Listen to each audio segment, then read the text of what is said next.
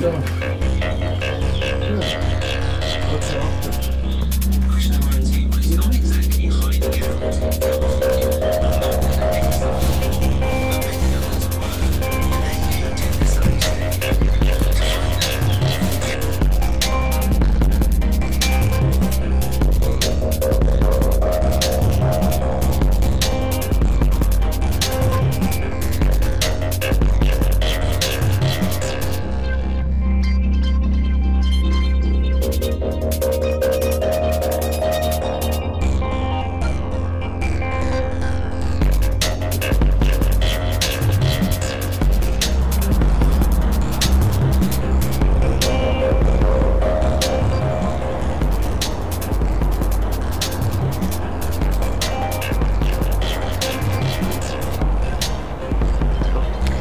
Hi, my name's Emily Lawson, and uh, I'm here to talk about this piece I did this winter on lockdown.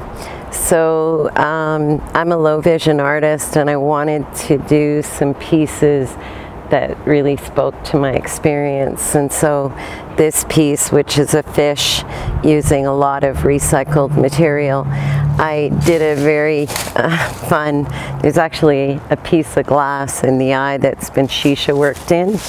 And then I took a container and did a Popeye and um, that really uh, is meant to represent um, these really strange fun glasses called binocs and um, I'm actually in the process of getting uh, a they look really weird but um, they work and I love bike riding and paddling and being active. So um, my binocular allows me to see stop signs and read street signs which is fantastic.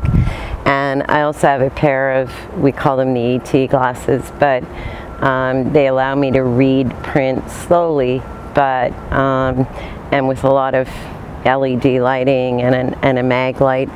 But um, it's an incredible tool, very, very expensive, um, and I'm incredibly grateful to have those tools to allow me to get out there and be active and do an adventure.